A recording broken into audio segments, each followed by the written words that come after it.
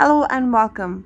In this video, I'm gonna show you how you can delete multiple contacts on AOL Mail app. Now one thing you should know is you cannot bulk delete contacts in AOL Mail app or even in the browser. To make sure you are deleting exactly the contact that you want, AOL has only made available individual deletion possible. So let's go ahead and see how can we do that.